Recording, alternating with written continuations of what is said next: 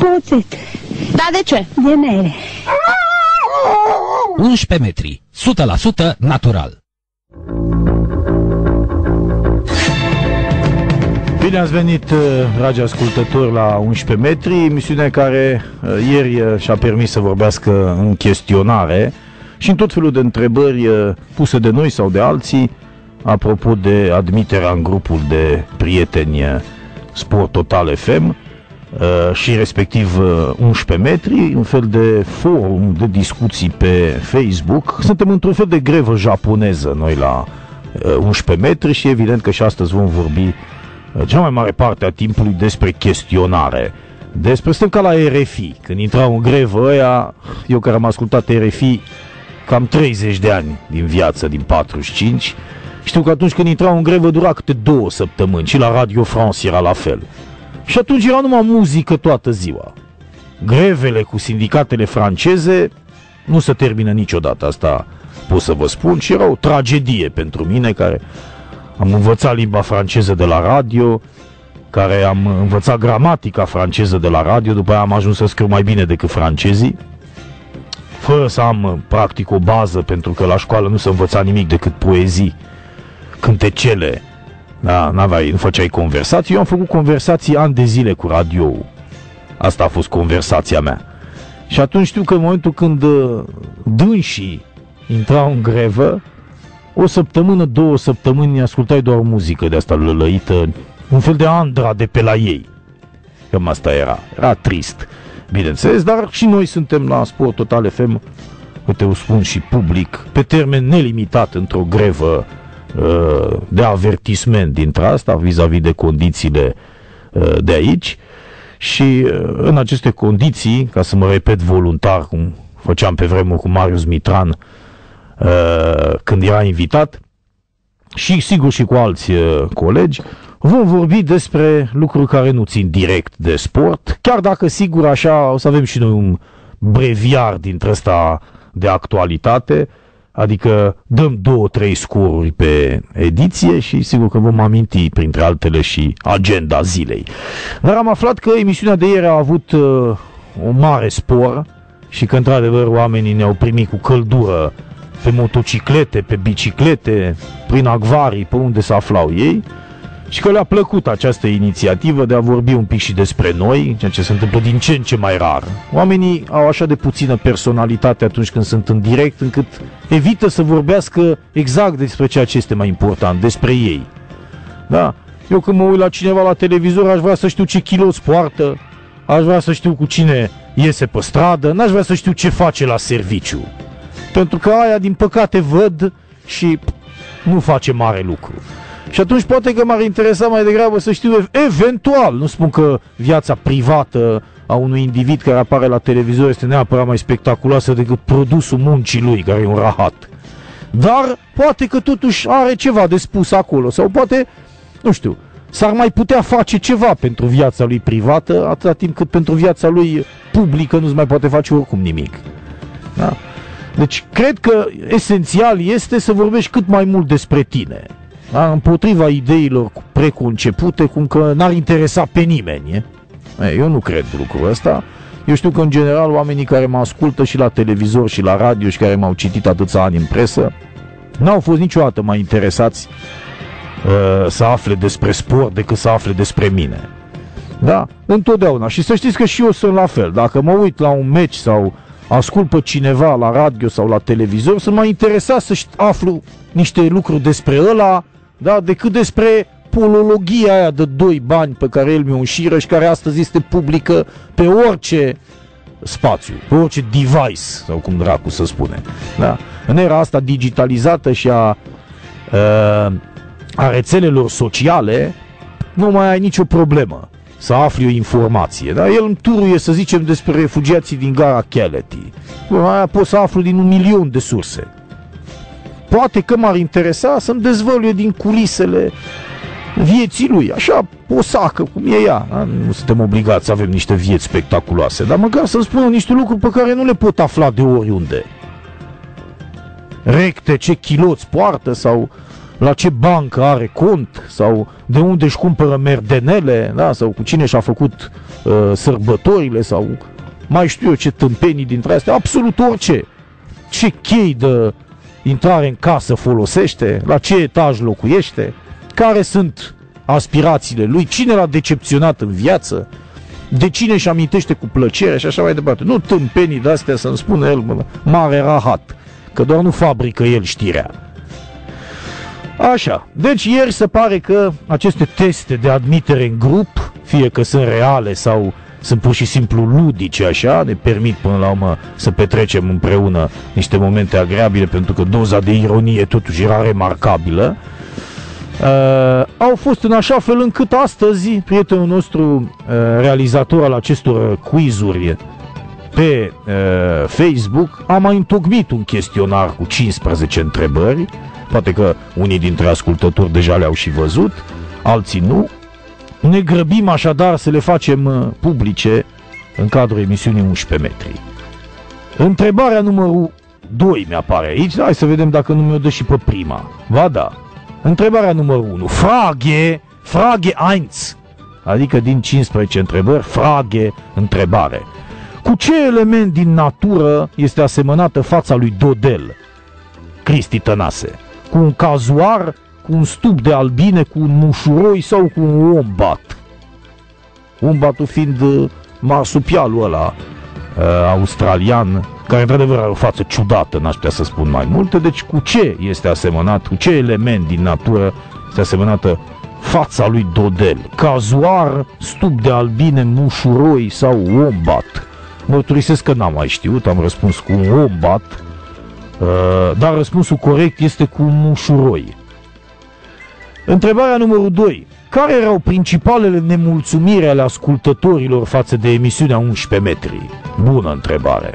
Pauzele mult prea lungi, noi intram pe la și 23 atunci, muzica din pauze, absolut oribilă, faptul că transmisia online pica foarte des, lucru real, sau toate variantele de mai sus?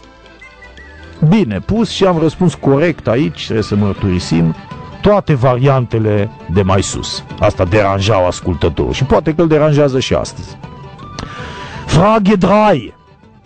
Cine este faimosul antrenor român care are veșnic telefonul deschis? Bună!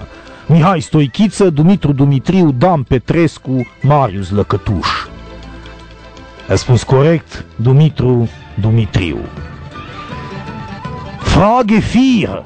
Ce apă cerea Ilie Dumitrescu pentru jucătorii săi pe când era antrenor la oțelul Galați? Apă de la robinet, borsec, apă de ploaie sau evian? Evian, fraților, deși uh, ar fi putut să apară în chestionar și biborțeniu, ca să mai inducă un pic în eroare, pentru că se pare că, din legendă, așa se spune, gălățenii consumau biborțeni înainte de venirea Duhului Sfânt Ilie Dumitrescu. În Frage 5, cu ce a sărit Sorin Hobana în direct în studioul Eurosport? Cu schiurile, cu parașuta, cu prăjina sau cu o bere? Da, răspuns corect, cu schiurile, într-adevăr, lucru care aproape că s-a întâmplat. Sorin Hobana a comentat mai bine de un deceniu și cred că mai face și astăzi săriturile cu schiurile, ducându-le până la urmă la un înalt nivel la un înalt nivel de acceptare al publicului, dar noi, ne, cei care aveam emisiune înaintea sau după el, ne temeam că la un moment dat va ieși cu schiurile prin cabină și ne va plezni pe toți, ne va face praf și pulbere. Atât era de iminent acest moment când urla. Și spunea la un moment dat și atunci credeam că se prăbușește studioul cu noi. În ce țară au plecat jurnaliștii Robert Turcescu, Mihai Tatuliș, Doru Bușcu, Emil Hurezeanu și alții în excursia organizată de către Roșia Montana Gold Corporation? Costa Rica, Noua Zeelandă, Seychelles sau Republica Moldova? Au plecat în Noua Zeelandă, la Auckland. Luăm o pauză publicitară și ne întoarcem cu etapa șaptea sau întrebarea șaptea, Frage 7. Să vedem din ce material era făcut pardesiul lui Ilie Dumitrescu? Imediat. Ne-am întors în direct după Chris Ria, iată încă nu suntem în uh, grevă și în ceea ce privește melodiile, o să trecem pe ambiental probabil de săptămâna viitoare. Uh, Frage, Frage 8, un ascultător al emisiunii a jucat fotbal pentru echipa SPTFM în Cupa Presei. Despre cine este vorba? Corno sau Cormo, să nu greșesc, Mirko Vucinici, El Comandante sau Onyx. Cine a jucat fotbal pentru echipa SPTFM în Cupa Presei? Nu ne-a fost chiar atât de greu să dăm răspunsul Mirko Vucinici, Muntenegreanu, care a evoluat. Întrebarea șaptea, întrebarea șaptea era din ce material era făcut pardesiul lui Ilie Dumitrescu. Sărisem peste ea, asta era Frage 7, piele, mătase, lână sau cașmir. Celebru cașmir, Gigi. Cașmir. Scump cașmir, într-adevăr, dar uh, floare la ureche pentru cariera lui Ilie Dumitrescu. Apoi, uh, ajungem la întrebarea 8, am fost cu Mirko Vucinici, întrebarea 9. Eu am câștigat medalii pentru România, tu ce ai făcut pentru țara asta? A fost o replică dată lui Radu Banciu de către Marius Lăcătuș, Mircea Lucescu, Simona Halep sau Victor Pițurcă. Ha? Mi-am amintit totuși o intervenție la sport.ro a lui Marius Lăcătuș, care într-adevăr mi-a reproșat pe bune, pe, pe cinstite, faptul că el luase medalii pentru România, mă rog, destul de puține. Medalii exagera și el că n-a fost campion olimpic, nici european. A câștigat poate pentru el câte ceva, pentru România mai puțin. Dar cred că se referea și la Cupa Campionilor, totuși, cu Steaua, unde a adus puiul de cupă. Întrebarea 10. Cine nu începea o conferință de presă până când nu ieșea Radu Banciu din sală? E, cred că sunt singurul dintre acești antrenori care își mai amintește sau pe lângă acești antrenori, Dumitru Dumitriu, Cosmin Olăroiu, Mircea Lucescu sau Florin Marin.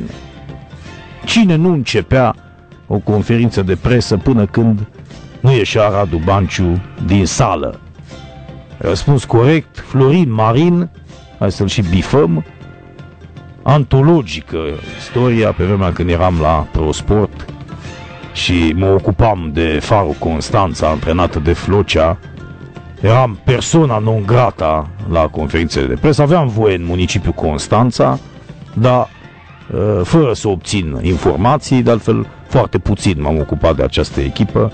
L-am sunat de câteva ori pe Flocea la Albena, unde se ducea în cantonament cu farul, după care au fost destituit de cei de la fotbal intern, secție condusă de Andrei Vochin, pentru faptul că nu eram pe placul antrenorilor din Liga 1 și alte echipe nici nu mi-au mai dat în afară de Faro. Sigur, m-am dus la câteva meciuri, am văzut Blatul cu Onești, uh, 2-0, am văzut meciul Blatul cu Dinamo din Ștefan cel Mare, câștigat 2-1 de Dinamo.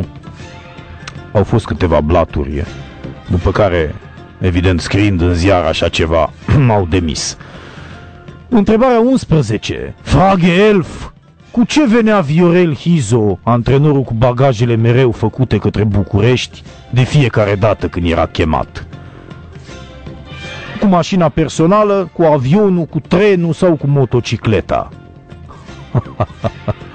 deci, cu mașina personală, cu avionul, cu trenul sau cu motocicleta, e venea întotdeauna cu trenul, după ce uh, nevastă sa sau nevasta a lui reușea să intre în uh, legătură telefonică directă cu uh, cei de la gară și rezolva un bilet de, la, de pe timpuri, în carton portocaliu așa, băgat în mașina respectivă, care era de pe vremea uzinelor de la Grivița, uh, erau uh, compostoarele alea din fier forjat, unde introduceai biletul, ăla era biletul pe care îl avea uh, Viorel Hizo tot timpul în buzunar.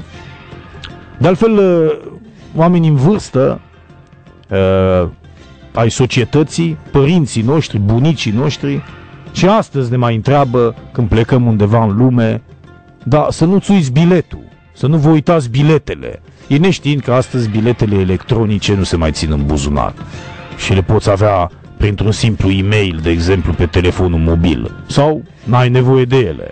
Dai pașaportul când te duci la aeroport, să zicem, sau uh, oriunde te duci și la gară, dacă e un tren internațional, este identic, dai actul, ăia te văd acolo în calculator și nu mai ai nevoie de niciun fel de uh, bilet. Ele îți mai poartă la cetățean.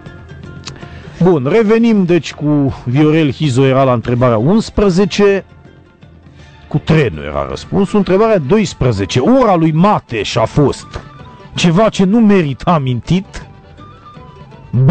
O emisiune de pe SPTFM, C. O extorsiune a unui degajament, D. Un fragment din emisiunea 11 metri în care se vorbea despre fotbalul extern. Aici aș răspunde ceva ce nu merită amintit, dar răspunsul corect este un fragment din emisiunea 11 metri în care se vorbea despre fotbalul extern. Mateș,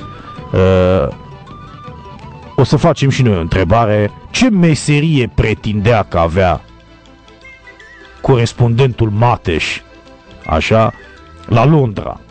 Ce meserie pretindea că avea?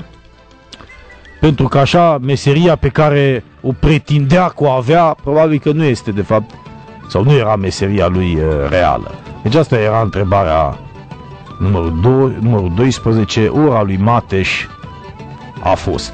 Întrebarea numărul 13. Ce sistem de joc ar trebui să folosească Olympic Marseille în sezonul 2015-2016? Iată, extrem de actuală.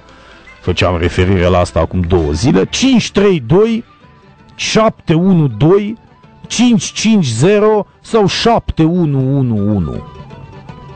A, bună întrebare asta pentru ascultătorii care uh, n-au fost pe recepție acum 48 de ore. Răspunsul corect este 7111. Întrebarea 14. Cine a compus un imn pentru Eurovision, dar n-a fost lăsat să participe la acest concurs? Pavel Turcu, Nicolae Furdu Iancu, Vlade Năchescu sau Horia Moculescu. Spus corect, Pavel Turcu. Într-adevăr, legenda Pavel Turcu. Am vorbit despre el și am pus melodia aia cu paznicul la discotecă sau ce era el. A fost un hit, Dumnezeule, care n-ar trebui să lipsească niciun playlist serios al vreunui cetățean. Întrebarea 15, genială, cât timp i-a luat lui Miodrag Belodedici să spună ascultați Sport Total FM pe 105 cu 8? Câteva secunde, câteva zile, câteva ore sau câteva săptămâni? Eu am răspuns în hohote câteva săptămâni, deși se pare că răspunsul corect este câteva ore. I-a luat lui Miodrag Belodedici să spună ascultați CPTFM pe 105 cu 8. Am răspuns la cele 15 întrebări, uh, vi le mai reamintesc o dată, cu ce element din natură este asemănată fața lui Dodel, cu un cazuar, cu un stup de albine, cu un mușuroi sau cu un ombat, care erau principalele nemulțumiri ale ascultătorilor față de emisiune, pauzele mult prea lungi, muzica din pauze, faptul că transmisia online pica foarte des sau toate variantele de mai sus. 3. Cine este faimosul antrenor român care are veșnic telefonul deschis? Mihai Stoichiță, Dumitru Dumitriu, Dan Petrescu sau Marius Căpuș. 4. Ce apă cerea Ilie Dumitrescu pentru jucătorii săi pe când era antrenor la Oțelul Galați? Apă de la robinet, Borsec, apă de ploaie, Evian. 5. Cu ce a sărit Sorin Hobana în direct în studioul Eurosport? Între timp cred că a devenit realitate, pe vremea aia era doar o ipoteză, cu schiurile, cu parașuta, cu prăjina sau cu o bere. 6. În ce țară au plecat jurnaliștii Robert Turcescu, Mihai Tatulici, Doru Bușcu, Emil Hurezeanu, în excursia organizată de Roșia Montana Gold Corporation, e bine să-i mai amintim așa din când în când că au plecat Moca, da? Chiar și marele Emil Hurezeanu a ajuns ambasadorul României la Berlin, adică nu la Mogadishu, făcea parte din această mocăciune absolut lamentabilă. Dar chiar dacă curiozitatea e firească pentru un jurnalist, nu te duci atunci când știi că e o mocăciune și când aia te au la mână după aia cu ceva. Răspunsul Costa Rica, Noua Zeelandă, Seychelles, Republica Moldova. Toți cei care s-au dus aici au încetat practic să mai fie jurnaliști din momentul respectiv, dar probabil că erau ofițeri acoperiți încă de pe atunci cu toții și nu riscau mare lucru. Încă o dată spun, asta te descalifică așa cum o turnătorie, de exemplu, în anii facultății, te descalifică ca și cetățean ulterior. Da, în momentul când ți-ai turna colegii sau vecinul de palier, da, sau te-ai uitat prin vizor și ai povestit la securitate ce ducea în desagă respectiva de la etajul 7, nu mai ești om. Da, poți să trăiești, dar nu mai ești om. Dar din punctul meu de vedere, acești nenorociți care s-au dus atunci cu avioanele respective 24 de ore de călătorie la business class, în călătoria vieții lor până acolo unde se întoarce planeta, adică la Auckland, în Noua Zeelandă, nu, mai, nu merită nici două cepe de gerate. 7. Din ce material era făcut pardesiul lui Ilie Dumitrescu? Piele, mătase, lână sau cașmir? 8. Un ascultător al emisiunii a jucat fotbal pentru echipa SPTFM în Cupa Presei. Despre cine este vorba? Cormo, Mirko Vucini, cel comandante sau Onyx? Eu am câștigat medalii pentru România, tu ce ai făcut, bă, pentru țara asta? Replica dată lui Radu Banciu de către Marius Lăcătuș, Mircea Lucescu, Simona Halep sau Victor Pițurcă, cine nu începea o conferință de presă până când nu ieșea Radu Banciu din sală, Dumitru Dumitriu, Cosmin Oloroiu, Mircea Lucescu sau Florin Marin, cu ce venea Viorel Hizo, antrenorul cu bagajele făcute către București de fiecare dată când era chemat? Cu mașina personal, cu avionul, cu trenul sau cu motocicleta? Ora lui Mateș a fost ceva ce nu merită amintit, o emisiune de pe SPTFM, o extorsiune a unui degajament, cred că ăsta e răspunsul cel mai corect, sau un fragment din emisiune în care se vorbea despre fotbalul extern. 13. Ce sistem de joc ar trebui să folosească Olympic de Marseille în sezonul 2015-2016? 5-3-2, 7-1-2, 5-5-0 sau 7-1-1-1? Cine a compus un imn pentru Eurovision, dar n-a fost lăsat să participe la acest concurs? Pavel Turcu, Nicolae Furdu Iancu, Vlade Năchescu sau Horea Moculescu? Și în fine, cât timp i-a luat lui Miodrag Belodedici să spună ascultați SPTFM pe 105 cu 8. Pauză și revenim cu un nou chestionar, nou notes. Sport Total FM, uh, emisiunea 11 metri, suntem în uh, direct, ora 15 și 32 de minute. Un nou chestionar ne este oferit pe tavă de către prietenii emisiunii, nu sunt neapărat și prietenii lui Moș Crăciun, dar sunt cei care ne urmăresc cu evlavie, aș spune, și care au realizat iarăși un chestionar uh, amalgamând așa chestiunile din mai multe chestionare, 17 cu totul, unele dintre ele, sigur, deja uh, uzitate, dar, sigur, aici e bine să ni le imprimăm serios în memorie. Repetiția este mama studiului și era și mama studenției, chiar dacă nu ne folosea la nimic. Mai bine n-am fi repetat decât prin punctele esențiale, că astăzi am fi fost undeva mai sus. Chestiunea 1. Cine nu începea o conferință de presă până când nu ieșea Radu Banciu din sală? Cosmin Olăroiu, Florin Marin, Răzvan Lucescu sau Mircea Lucescu? Este o nouă formulare a ei, este un alt chestionar. Întrebarea numărul 2. Cine pariază 1x la o cotă de 1.05 la un meci Barcelona-Hetafe? Florin Chivulete, Dan Bara, Narcis Drejan sau Gabi Maricescu. Uneori e bine să ne rememorăm și niște nume dragi nouă care, iată, mai apar măcar prin astfel de chestionare. Întrebarea numărul 3. Cu ce element din natură este asemănată fața lui Cristi Tănase? Cu un cazuar, cu un stup de albine, cu un ombat sau cu un mușuroi?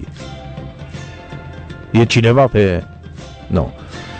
No. Întrebarea 4. Sigur că ascultătorii sunt uh, invitați să intre în direct și pot primi și certificatul uh, de aparținător la emisiunea 11 metri dacă își doresc. Evident, se poate obține și prin telefon, așa cum spuneam ieri, poți să faci o rezervare la orice hotel din lume și prin telefon. Sau la un bilet de avion sau de tren sau de uh, drezină. Deci nu este o problemă, ea să faci și prin formulare complicate, te duci direct la ambasadă, te duci direct la sediu respectiv, te duci la ghișeu, dar poți să o faci și prin telefon, iată Adrian ne-a sunat. Uh, bună ziua! Să trăiți, domnul Banciu. Să trăiți! Să vă aud de nou. Uh, suntem la chestionar și astăzi. Da, da, da, știu că am vorbit și ieri cu dumneavoastră. Haideți să vă pun o întrebare inedită pentru aceste chestionare, întrebarea 4 din acest chestionar de 17 întrebări, să vedem dacă vă spune ceva. Sunteți de acord? Vă rog. Da, da. Cine a spus că Glasgow Rangers este cea mai titrată echipă din fotbalul european? Variante A. Sir Alex Ferguson B. Meme Stoica C. Dan Petrescu D. Dorin Goian Deci, cine a spus că Glasgow Rangers este cea mai titrată echipă din fotbalul european? Ferguson, Cred că Meme, Busucu Meme sau Stoica. Goian? Meme, Meme Stoica. Stoica, crede. Corect. Meme Stoica, cel care avea cunoștințe mai mari decât noi toți în domeniul fotbalului. La un loc. La un Exact, loc, exact. da. Să vină să spună care are mai multe cunoștințe decât am eu. Avem și un jingle cu asta. Avea dreptate Meme Stoica, iată o dovadă că el era peste noi toți. Cea mai titrată echipă din fotbalul european este, nu așa, Glasgow Rangers. A- Adevărul e, domnul Bance, că mi-ar fi plăcut să-l aveți față în față cu, cu meme Stoica, să, să fi văzut așa întrebări de la ascultători, și din nou să răspundeți dumneavoastră și dânsul. Da. Să vedem ce cunoștințe ar fi avut. Da, Ar fi el, foarte, ple- foarte el pleca interesant. totuși favorit. El pleca totuși favorit, adică să recunoaștem, era, era cap de serie, nu? Era Dumnezeu. Cu un handicap de minus 1-0 sau minus 10-0 probabil. Nu, nu, era favorit, meme Stoica, vă dați seama. Pe el puteai să-l întrebi și despre campionatul, uh, cum să spun, campionatul, uh, În Burkina Faso. nu, sau cum, în- cum se numea ăla? Copa în- IMS-ului Dactari. Nu, puteai să-l întrebi despre orice. Nu, meme Stoica era, avea cultură în orice domeniu, deci puteai să și deviezi un pic de la uh, fotbal și să te duci spre un cricket, spre un badminton. În fine, nu, nu, era, era, era tare. Bine că totuși, bine că totuși la un moment dat s-a mai lăsat de astea și acum este dulgher, vă reamintesc, într-o uh, unitate uh, de ținut oamenii de nivelul lui, Exact. adică un fel de penitenciar. Bun. Întrebarea 5. Bun. Cine erau cei doi colaboratori ai emisiunii 11 metri? A. Emisiunea n-a avut colaboratori. B. Călin Mate și Gheorg Lorenz. C. Narcis Drejan și Dan Cucu. D. Horia Ivanovici și Gabi Safta. Deci, care erau colaboratorii emisiunii 11 metri? Uh, Mate și cu Gheorghe Oren. Nate și cu Georg Lorenz, Bayern München, care a câștigat pe teren propriu, scor 6 la 4, partida cu Eintracht Frankfurt, un Frankfurt Andi de zile mari, Frankfurt a jucat ofensiv, un 2-3-5 pe care numai antrenorul la Badia îl utilizează în Bundesliga.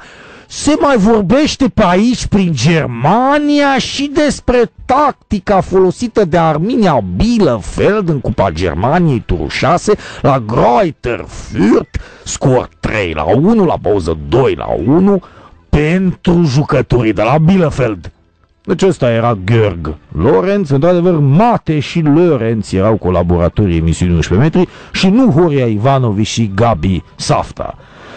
Bun, mergem mai, eu mergem mai vreau să fie departe. Gabi Safta. Întrebarea șasea nu vă mai pun, dar o citesc pentru uh, ascultători. Cine este singura femeie care sună în direct la 11 metri? Variante de răspuns doamna Viorela, doamna Eugenia, doamna Polixenia sau doamna Lăcrămioara. Întrebarea 7. Pe ce post TV ar fi putut Radu Banciu să comenteze meciurile din Liga 1? Pro TV, Digisport, Etno TV sau Canal D? Ia să vedem dacă știți. Pe ce post ar fi putut Radu Banciu să comenteze meciurile din Liga 1? Pro TV, Digisport, Etno TV sau Canal D? Pe ProTV, bănesc. Nu. Nu, nu, răspunsul corect, Canal D. Pe vremea când avea opțiunea 1, de era Florin Cernat acolo. A, da. Cosmin Cernat, pardon. Cosmin Cernat. Nu, nu, nu. Canal D. Nu, Pro TV-ul n-a avut niciodată uh, n-a avut niciodată intenția asta, nici n-a transmis meciul, dacă bine mi-amintesc eu, nu. N-a fost în contact Pro TV pentru nimic niciodată. Uh, cu Canal D, da, la un moment dat am și fost pe acolo, cu Cosmin Cernat, nu cu Florin Cernat sau cum îi spuneam mai devreme. Bun, s-a întrerupt uh, legătura telefonică, dar nu contează, ascultătorii sunt bineveniți, nici legăturile telefonice n-au fost niciodată un lux sau un punct foarte al acestei emisiuni, cum n-au fost nici scaunele, nici melodiile, nici pauzele uh, publicitare sau pauzele prea lungi. Deci putem să adăugăm într-un nou chestionar și uh, calitatea legăturilor telefonice, dacă doriți. Chestiunea opta. Da. V-ați întors? Nu, Mihai la telefon. Da, Mihai Dușa, Să trăiți. să trăiți. Deci direct vă introduc în chestiunea opta, dar Da. sunteți, sunteți în temă cu actualitatea. Da, da, da. Radu Banciu și Andy Stănescu au comentat câteva partide de fotbal din campionatul A. Bulgariei, B. Coastei de Fildeș, C. Ungariei, D. Ugandei. Hai să aude un pârâu. E clar, Nu am înțeles. omul nu la am munte. înțeles. Deu. Deu, adică Uganda. Da. No. Ne-ar fi, ar, ne-ar fi plăcut, dar nu.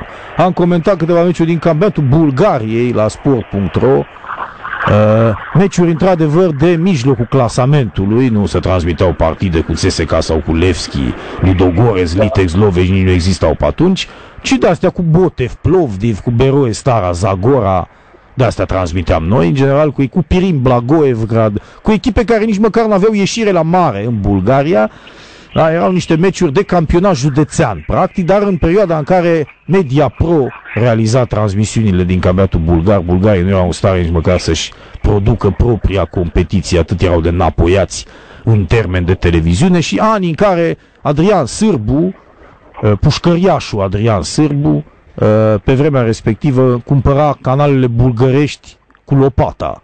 Deci, odată la câteva zile mai venea un e-mail de la intern în Pro TV că a mai luat un canal în Bulgaria. Bun. Trecem la chestiunea numărul 9. Care era singurul diagnostic pus de medicii din unitatea militară în care a fost repartizat Radu Banciu? A. Sculament B.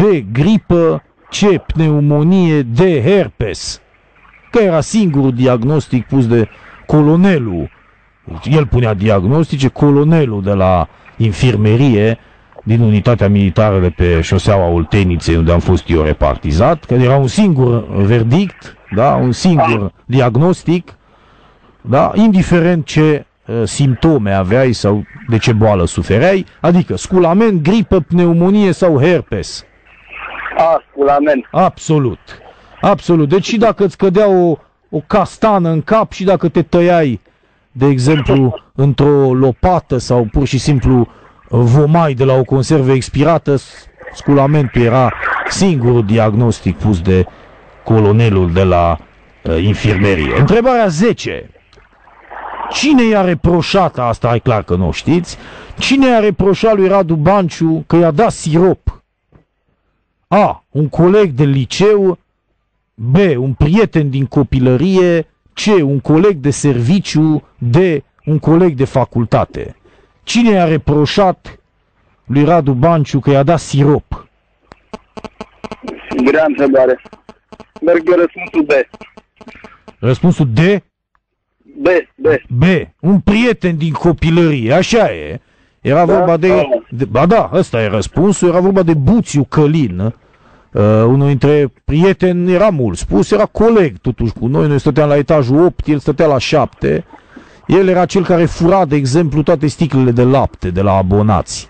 El fura timbrele, el fura uh, sămânță de floarea soarelui de la Ernei, 30 de kilometri de Târgu Mureș, avea o bicicletă Pegas dimineața în vacanța aia Da, de vară. știu, știu care de dura- Ternă, eu și eu sunt dura- din Târgu Mureș. Așa, dura 30, pardon, dura 90 de zile vacanța de vară. Uh, el în prima zi de vacanță, deci în 16 iunie, la 6 dimineața se urca pe bicicletă și pleca cu ea până la Ernei, unde fura Da. dintr-un lan de floarea soarelui atâta sămânță de floare cât să-i ajungă pentru o săptămână. Iar când ne sculam noi ăștia mai uh, clasice, așa, pe la 9-10 dimineața să ieșim cu mingea să jucăm fotbal până să întuneca, el deja era cu floarea soarelui pe bancă în fața pocloșului, o adusese de la Ernei. Și sigur, îți mai dădea un pic de floarea soarelui dacă îl mai luai în echipă, dacă îl lăsai să joace, dacă... Adică te șantaja cu chestiile astea. Da. Cei care erau mai apropiați de el primeau mai multă floare, cei care erau mai îndepărtați în momentul ăla, că știți cum sunt copiii, astăzi te cerzi, mâine te împaci. Deci uneori îți dădea floare, alteori nu.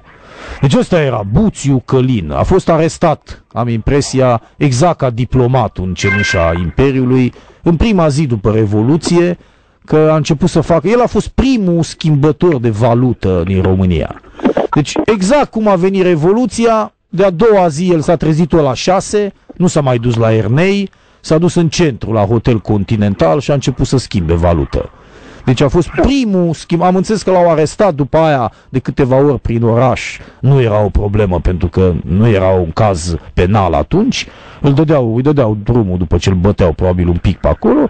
Dar până la urmă se pare din ce se spunea, că e o legendă și asta ca și Dan Cucu, că l-ar fi arestat la un moment dat în Ungaria pentru o trecere de asta clandestină de frontieră uh, frauduloasă și l-ar fi arestat acolo. Se pare că și la această oră e tot undeva printr-o pușcărie, dar nu se știe exact unde.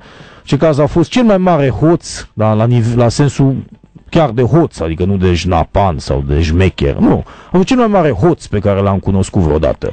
Deci era exact tipul de om care dacă dădeai mâna cu el, ceas nu mai aveai. Ori că n-aveai deloc, ori că aveai și ți-l fura. Deci era absolut letal în așa ceva. Sigur că era prietenul nostru al tuturor, în momentul în care, de exemplu, jucam românii cu maghiarii sau jucam partea de vest a Pocloșului cu partea de est a Pocloșului. Sau, ce știu, erau meciuri de astea între cartiere. A, Dumnezeule, păi era Buțiu ăsta, era teribil. Dâmbu cu Tudorul. Dâmbu cu Tudorul, da, sau Budai Noghiantal cu Mureșeni. Sau, Mureșeni, da, da, era periculos. În fine, deci în orice caz era enorm de util în astfel de chestiuni, pentru că el intra pe teren și te distrugea. Da. Taică s era extraordinar, țin minte când se ducea, veneau fetele la școală, veneau fetele în fața blocului, că i-a spart capul, călin. Aveau capul plin de sânge. Cu ce ți-a spart capul, dragă? întreba Tasu. Cu liniarul, cu rigla, zicea aia. Nu, călin, zicea el. Deși el nu fusese acolo, Tasu, abar n-avea. Nu, călin nu lovește niciodată. El nu dă. Zicea, pe cum venea aia fata cu Tasu? Pe cum, domnule, i-a spart capul? Numai dacă este provocat călin. Deci avea, avea un frate, Buțiu Doru îl chema, ăla era mic, așa ca un șoricel, exact, era exact ca Jerry, ăla micu, nu l-am prins niciodată decât în frage de pruncie. Pe ăla era, avea aptitudinile lui frate sau unii spuneau chiar că e mai talentat decât frasul. Probabil că a ajuns și ăla pe o pușcărie pe undeva. Erau niște hoți de nivel mondial, după părerea mea. Așa ceva n-am văzut niciunde. Deci chiar și frații Becali ar fi luat lecții de la ăștia doi. Deci ăla mic fura din copilărie, deci avea 3-4 ani, deja era hoț de profesionist. Da? Vă spun, așa ceva mai rar. În orice caz erau extrem de talentați. Pentru că, asta e, trăim într-o lume în care trebuie să fie și teroriști, trebuie să fie și hoți, trebuie să fie și refugiați, trebuie să fie și uh, mer- mercenari, adică e nevoie de toate meseriile. Ei erau hoți absoluți, deci da, sunt născuseră hoți. Da? Bun, mai departe. Întrebarea 11. Pentru ce sunt cunoscuți cozonacii lui Copos? A au fost oferiți ca premii în emisiunile 11 metri. B. Pur și simplu sunt foarte gustoși. C. Sunt cei mai ieftini cozonaj de pe piață. D. Au extrem de puțină cremă. Uh, după câte știu pe Copos, cred că răspunsul corect este B. B. D. Au cea mai puțină cremă, da. Au cea mai puțină cacao, cum spuneam noi, la conform acestui chestionar, da. Au cea mai puțină cremă Cred că ăsta trebuie să fie răspunsul corect. Noi n-am bifat încă la acest chestionar, deci uh, doar ne dăm cu părerea, nu știm exact care sunt întrebările, care sunt răspunsurile corecte, dar oricum cam astea par să fie. Uh, bine, vă mulțumim de intervenție. Uh, nu de alta, dar mai păstrăm niște întrebări, pentru că dacă mai vor să intre și alți ascultători da, pe fir, de exemplu, să mai participe la acest sondaj, ne ajută și corespondentul. O să citim imediat și primele întrebări de la el. Nu știu unde a fost ieri corespondentul, dar astăzi este alături de noi și ne propune și el câteva uh, întrebări. Nu știm răspunsurile, dar probabil că dacă le vom solicita, le vom primi. Mulțumim de intervenție uh, la Sport Total FM. Deci v-aș supune, dragi prieteni, atenției prima întrebare a corespondentului. Dacă avem un telefon, o spunem direct ascultătorului în direct această întrebare. Ce oltean are ieșire la mare?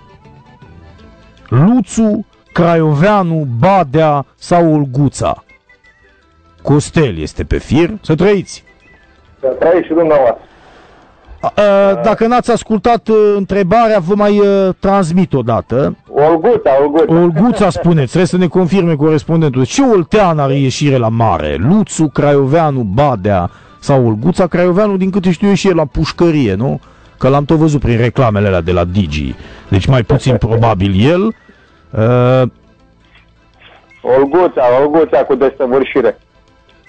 Da. Uh, În orice caz, uh, uh, corespondentul, din câte mă uit eu aici, că el îmi trimite prin SMS, sta să verific, nu mi-a trimis decât, m-a mai trimis câteva, să ne ierte, dar alea nu pot fi redate pe post, cel puțin deocamdată, mai așteptăm.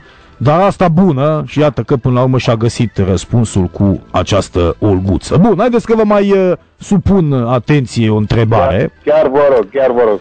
că poate n-ați fost pe fir, de exemplu, ieri. Am fost și ieri pe fir. Să- Atunci, atunci ar putea să răspundeți repede la ea, dar trecem la următoarea după aia. Cum se numește studioul de unde emite emisiunea 11 metri? Variante. Dan Cucu, Micul Old Trafford, e Năchiță Văcărescu sau studioul nu are niciun nume? Ca și stadionul din Bordeaux, de exemplu, care se numește Grand Stade.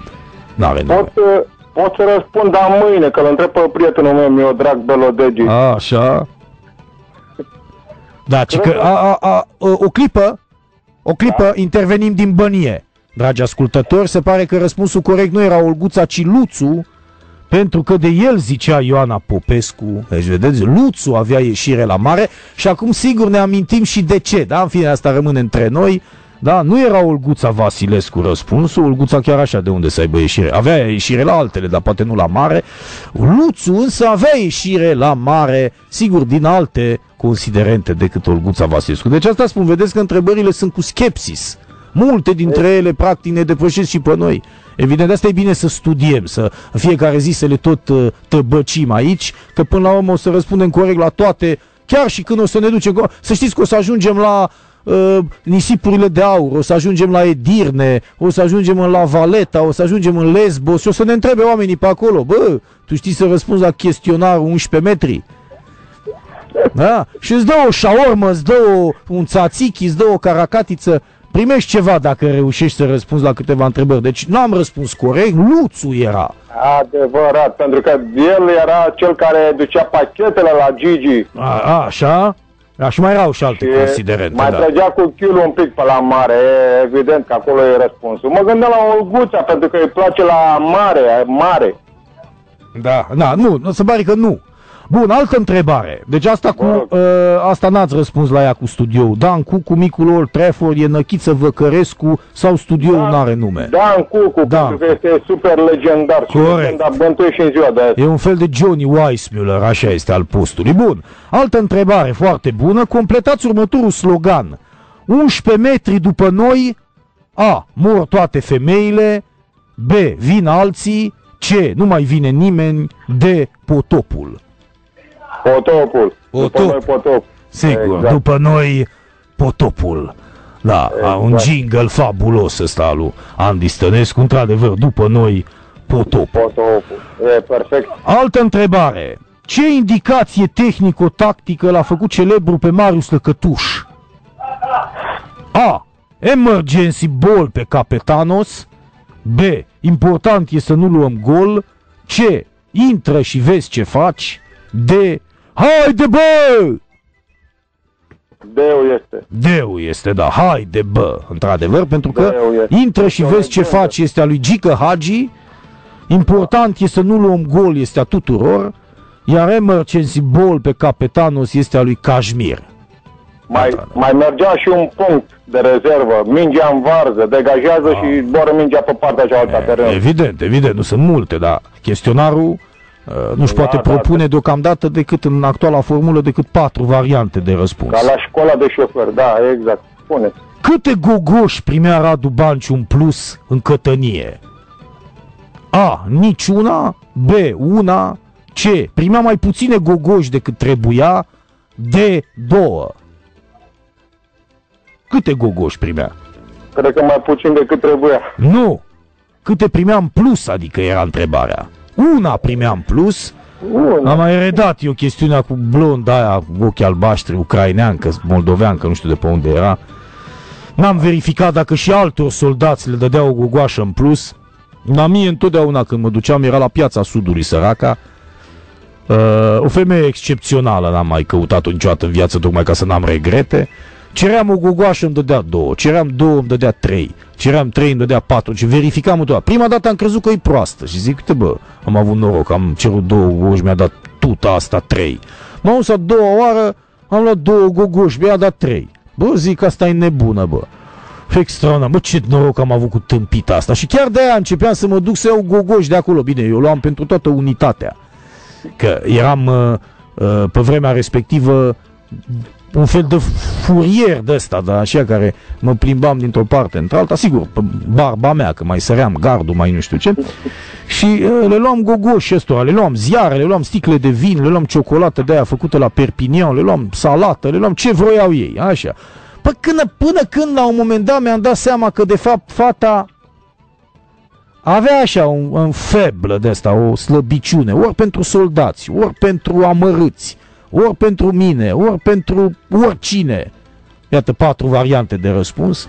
Niciodată nu o să știm. Bă, De fiecare dată cât a existat acea gogoșerie, ea îmi dădea cu o gogoașă în plus. La un moment dat, sigur, de jenă nu mă mai duceam. Îmi era jenă mie. Uh, ăștia mai mercantil de prin unitate, când le-am povestit pe o istorie, mi-au zis, da du-te bă, odată și cere, nu-mi dați, doamnă, nicio gogoașă, să vedem cât îți dă. Știi? Adică să vedem într-adevăr, e proastă, e îndrăgostită, e pur și simplu... Că știți că atunci circulau vorbele alea și chiar mie mi s-a întâmplat cu babele alea care te luau pe bra- în brațe pe stradă când te vedeau îmbrăcat în militar și te pupau că și ele aveau feciorul tot la cătănie și îi se părea că nu să-l mai vadă niciodată pentru că atunci o nouă revoluție era iminentă și așa mai departe. Deci n-am aflat niciodată pentru ce acea fată blondă cu ochi albaștri, cu mi- capul plecat așa și cu mâinile pline de făină și de ulei îmi dădea o gogoașă în plus. E o legendă, bineînțeles, iată totuși preluată de mari noștri chestionari, da? Acești Ion Cristoiu, care fabrică chestionare ai uh, rubricii 11 metri, au ajuns până la urmă să pună și această întrebare esențială. Câte gogoși primea Radu Banciu în plus în cătănie? Bun, mulțumim de intervenție. O să Cu luăm... plăcere. uh, Dacă în mai cur- aveți alte întrebări, puteți să mi le puneți prin e-mail. Ex, exact, exact. Punem întrebări Eu în peste legătură tot. cu corespondență. O zi bună vă doresc. Mulțumim de, de intervenție. Sigur, practic fiecare ascultător ar avea dreptul la un singur chestionar, adică la un singur set de întrebări, să vedem ce ne mai propune corespondentul, cui i-a spus blonda lui Dodel verbul pensando, lui Cristiano Ronaldo, lui Kipciu, lui Messi sau lui Lăcătuș. Și cui i-a spus blonda lui Dodel verbul pensando.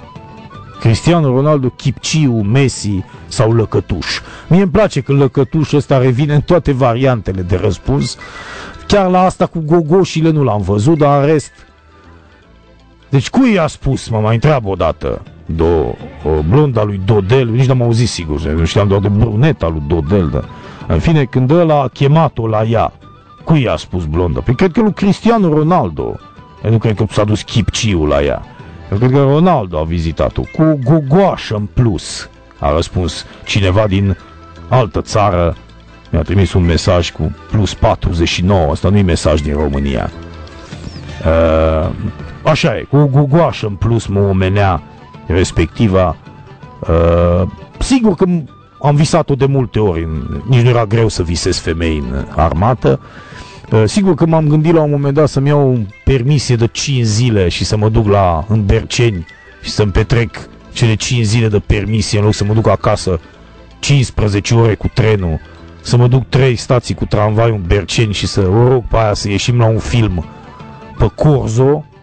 Da, până la urmă, știți cum e, ca mari scriitori, deși mi-au dat târcoale mii de variante, câteva mii ar fi spus Florin Mitu, până la urmă nu i-am făcut niciodată nicio ofertă. Dumnezeu știe femeia aia pe unde o fi astăzi, câți copii are, de câte ori a divorțat, câtă bătaie a mâncat. Ideea e că mă consolez destul de ușor spunându-mi așa. Mai frumoasă decât era atunci, sigur nu e. Luăm o pauză și ne întoarcem.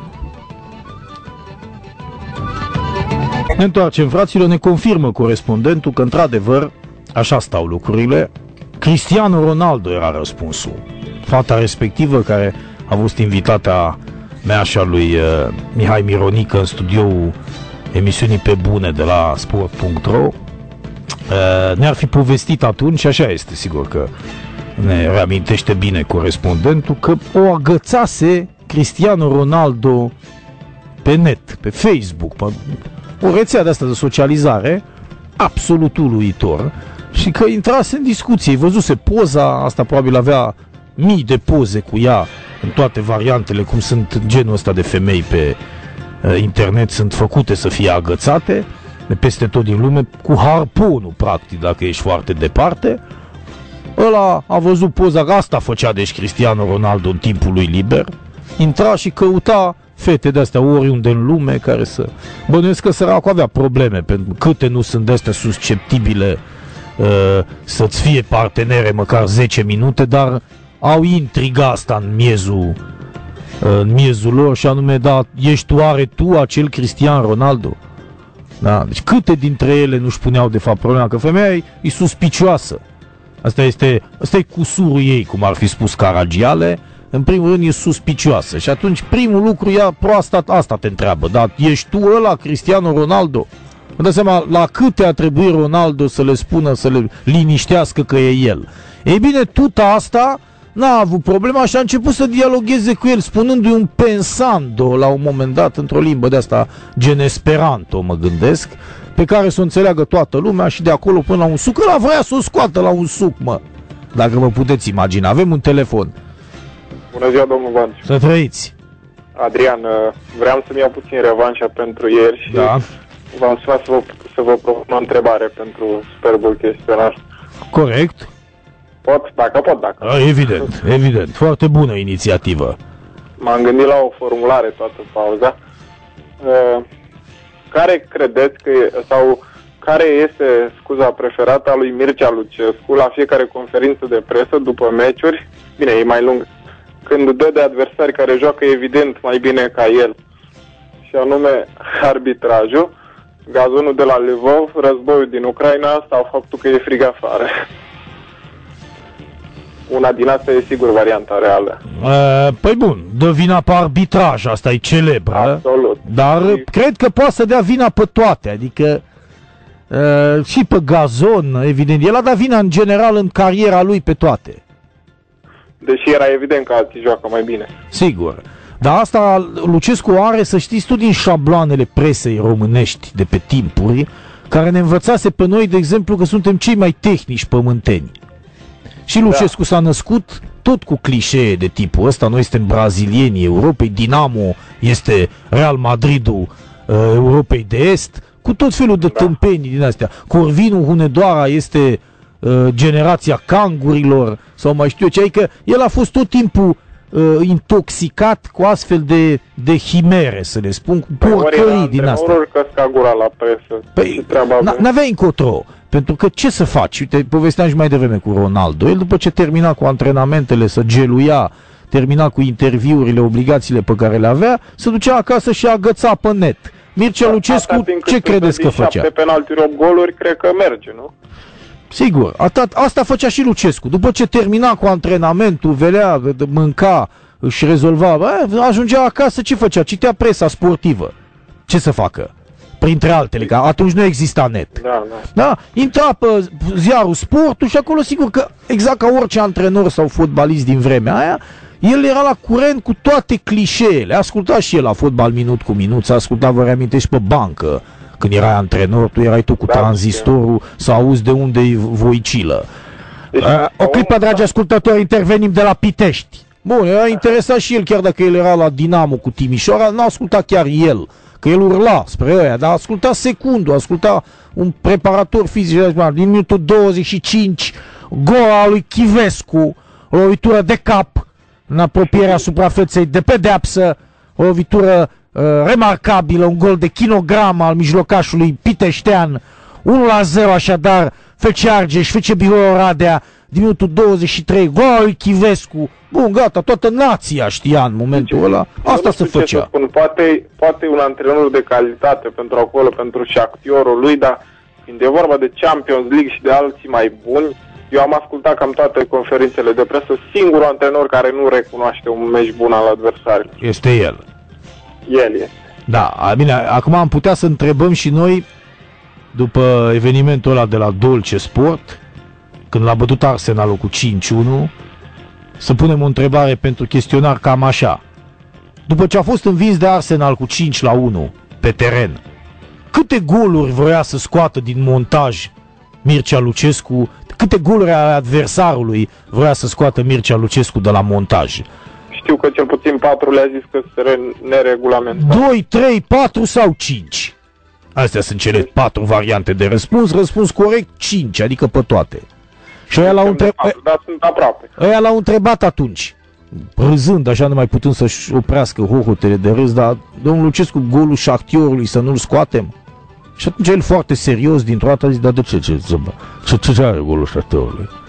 A fost un gol uh, perfect valabil, uh, că demonstrează că o să vedeți, dacă scoateți cele 5 goluri ale lui, uh, ale lui Arsenal, o să vedeți că meciul a fost echilibrat și să- putea să termine 1-0 pentru noi.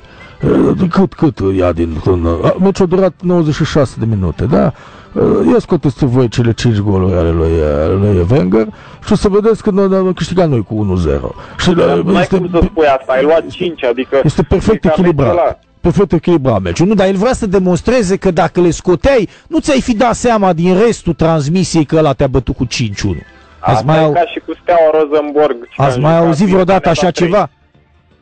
Da. Bă, Nu, deci n-am ați mai auzit vreodată așa ceva? Deci meciul a fost perfect echilibrat dacă scoți cele 5 goluri ale adversarului și lași pe al lui. N-am mai auzit nicăieri. Asta a spus el. Era ștucan atunci la Dolce Sport, țin minte, în studio.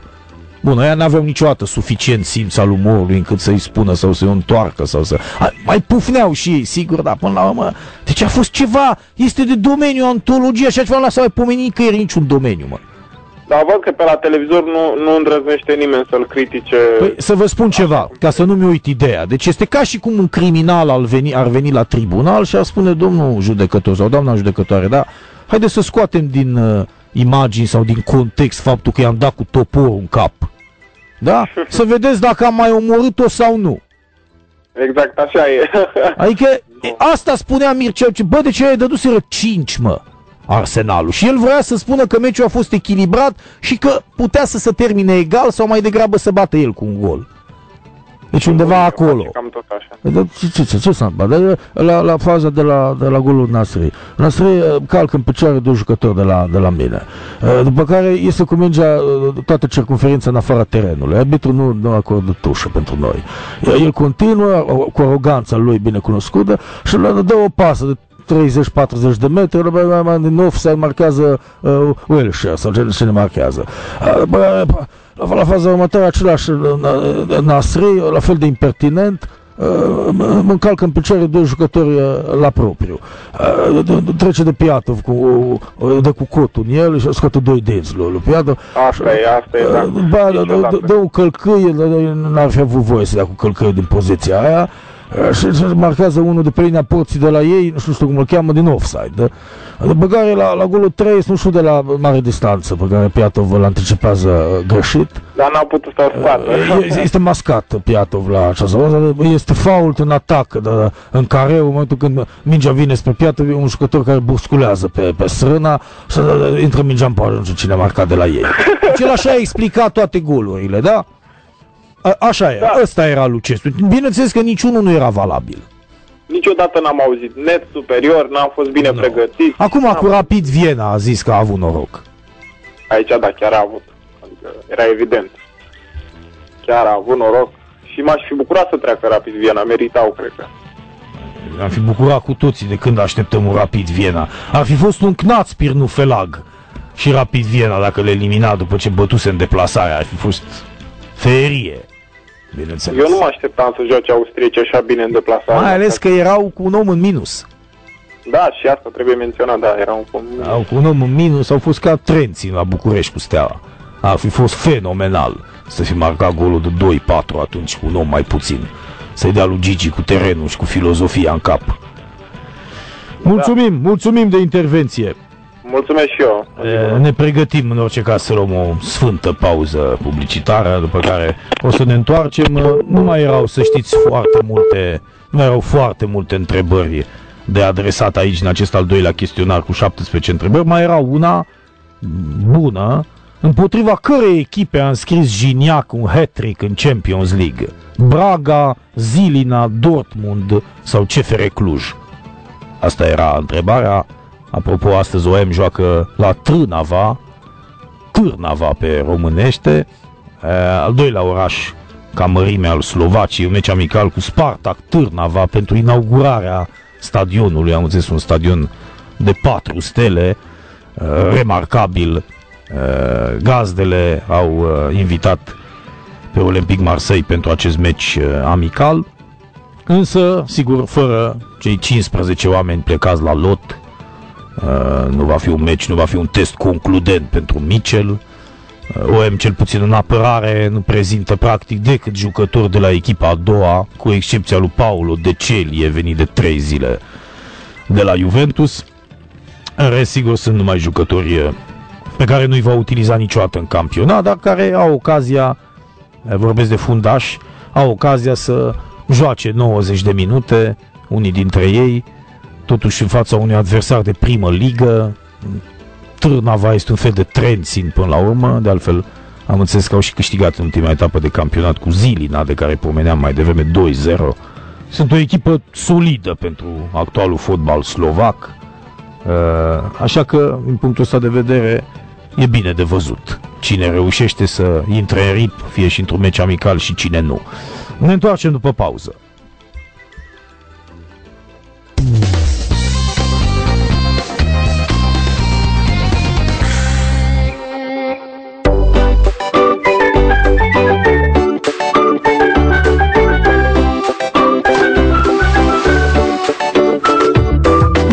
Bucură-te de gustul dulce și aromat al fructelor scăldate în soare și de răcoarea apei de munte. Justo Natura. Te bucuri de fructe. Pentru o viață sănătoasă.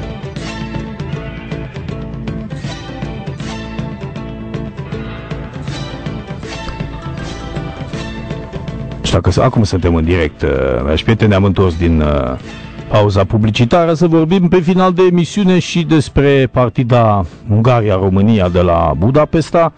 Citisem la un moment dat pe site-uri că uh, refugiații, cei mai mulți dintre ei uh, din Siria, că despre ei vorbim, irascibili, ar fi blocat uh, centrul orașului, uh, ar fi degenerat pe undeva protestele lor, uh, unii încercau să plece spre Austria, alții încercau doar să se răfuiască cu autoritățile din diferite motive, nu avem cum să ne punem la mintea acestor oameni, uh, care sigur că n-au lăsat nimic în urmă, pentru ei nu există niciun fel de risc, unii au plecat doar cu hainele de pe ei, deci n-au nimic de pierdut, aici se potrivește în sfârșit cu adevărat această vorbă de lemn, n-au nimic de pierdut, prost folosită de obicei, pentru că Uh, dacă, de exemplu, Andreea Mitu joacă împotriva Sirinei Williams odată în viață, da? toată presa va scrie că Andreea Mitu nu are nimic de pierdut. Da? Tocmai. Are de pierdut foarte multe. În primul rând că pierde un meci pe care nu va mai juca niciodată, pierde ocazia de o bate pe Sirina Williams, probabil nu va mai avea acea ocazie niciodată, și pierde ocazia de a câștiga mai mulți bani decât a câștigat din vreun alt meci în viața ei. Da? Deci e o prost aplicată. E bine, acești oameni pe care i-ați văzut în training sau în șlapi, în centrul Europei, venind de la ei din Asia Mică, cu o bocceluță uh, și cu un sandwich făcut pe drum și care sigur între timp s-a alterat, da, sau cu două nuielușe după ei și purtându-și plozii pe unde mai apucă, e bine, acești oameni, într-adevăr, n-au nimic de pierdut. Sigur că acum uh, drama lor face în conjurul planetei, uh, noi nu putem să ne punem în uh, locul lor, nu avem soarta lor, nu știu dacă e bine sau e rău, dar suntem incapabili să îi judecăm. Am văzut cu toții imaginile de pe internet, unele dintre ele teribile cu copilașul sirian mort înnecat pe plaja de la Bodrum din Turcia. Pur și simplu scăpa, îi scăpaseră copiii din mână în Mediterană respectivului refugiat sirian în timp ce se afla într-o embarcațiune precară împreună cu soția sa. Extraordinar momentul. Am citit toată povestea lor pe agenția France Press. Nu știu câte ori încercaseră să fugă din Siria această familie. Uh, n-au reușit. Mai întâi au plecat din Damasc în Alep, când a început războiul civil acum patru ani în Siria. După aia au venit bombardamentele în Alep, un oraș aflat în nordul Siriei. Damasc e undeva în centru. Au plecat și din Alep, s-au dus la Comane ăla sau Cabane, sau nu știu cum se cheamă, a treia localitate din Siria. Uh, s-au refugiat acolo și acolo au venit islamiștii cu câteva rafale dintre astea și-au dat seama că nu sunt în siguranță, au plecat în Turcia, au fost atacați și acolo prin taberele de refugiați, luați la uh, întâmplare, așa, confundați cu curzii, în fine, s-au întors în Siria, după aia, văzând că în Siria nu se poate, au plecat din nou, au plecat pe mare, uh, au ajuns la un moment dat, uh, nu știu toată povestea de a fi rapăr, dar elementele esențiale, au ajuns în, iarăși în Turcia, dar în altă parte a Turciei, de acolo au fost iarăși împinși ca să nu ajungă în Grecia și să ia contact cu Uniunea Europeană. Și până la urmă au evadat din acel câmp al refugiaților în sudul Turciei, luând-o pe cont propriu cu o embarcațiune dintre asta făcută așa la va-vit, adică pe repede înainte, cu alți curajoși pe riscurile lor definitive către insula Lesbos, care pentru ei însemna Eldorado Uniunii Europene, foarte aproape de altfel de coastele Turciei și acolo s-a scufundat embarcațiunea exact ca în filmul Viața lui Pi, ăla cu tigru, indianul ăla când îi mor părinții și fratele și rămâne numai cu tigru și cu zebra pe o barcă în mijlocul oceanului indian. Exact așa s-a întâmplat și cu ăștia. A rămas numai el, până la urmă și soția și copiii s-au înnecat, au murit înnecați uh, și i-a găsit pe plaja din Bodrum, câteva mile nautice de frontiera cu Grecia, unde ar fi putut ajunge în Uniunea Europeană, imaginea copilașului întors așa cu spatele, uh, parcă ar dormi pe plajă, este într-adevăr teribilă și a fost vizionată peste tot în lume, uh, semnând practic cu majuscule definitiv această dramă uluitoare a unor oameni care, iată, seamănă cu noi. În prima dată când am văzut cu toții poza acestui uh, copilaș de 3-4 ani, stând alungit, încălțat, îmbrăcat, ca și cum s-ar fi odihnit pe plajă, mort, înnecat în uh, Mediterana Orientală, ei bine, atunci și-au dat seama toți hulpavii ăștia europeni, toți ăștia cu taxe, cu impozite, cu vize, cu frontiere, cu sârme ghimpate, că de fapt ăștia sunt oameni ca și noi. Incredibilă chestia. E bine, în acest context, România se află chiar la Budapesta Național de Fotbal, acolo unde este unul dintre cele mai mari centre ale refugiaților în uh, centrul Europei. Oameni care sigur nu vor să audă de Ungaria, vor să plece în Austria, în Germania și așa mai departe. Până la urmă, sigur că soarta îi va copleși pe toți. Este un moment al istoriei care nu are decât un singur final.